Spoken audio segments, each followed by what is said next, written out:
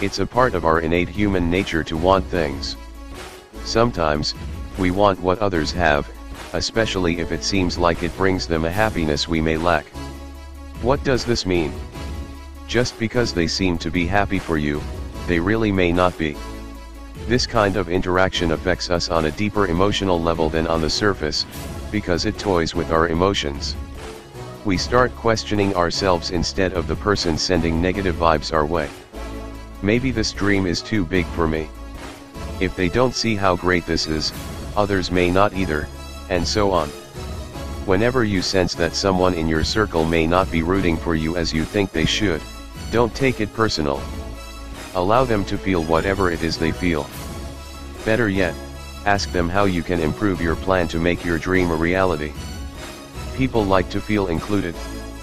Sometimes people are not as happy for you as they depict themselves to be.